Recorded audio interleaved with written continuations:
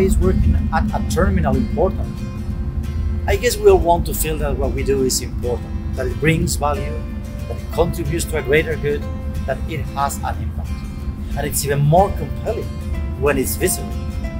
For me, this is what working at a terminal is about. You do not need to think whether you impact your customers or how you influence your community.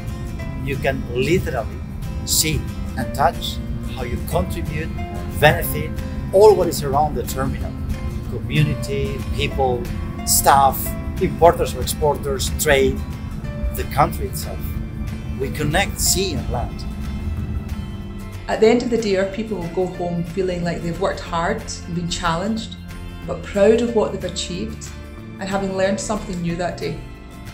They go home with enough time to spend with their families and follow their own passions, and they're ready to come back the next day for another demanding and rewarding day.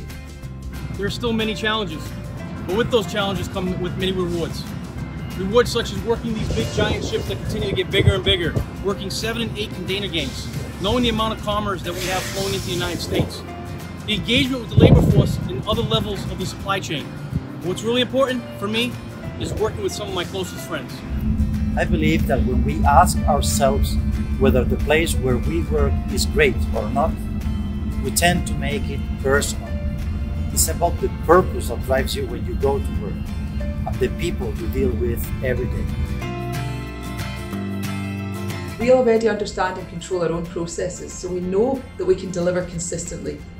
And if failures occur, we identify them and proactively resolve them. This means that we no longer spend time with our customers haggling on price or discussing small issues.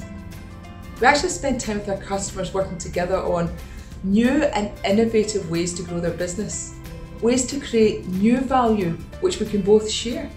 I think it's exciting times for our customers. They're with us in the journey of new technology, modernizing our facilities, the new tools, better and faster data. These are all the things that they've been looking for for a long time, and we're ready to provide for them.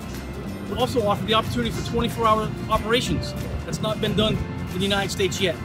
But the more important thing, we want to offer the world-class customer service. And I really do feel that our customers feel good about that and the future of APM terminals. It's exciting times.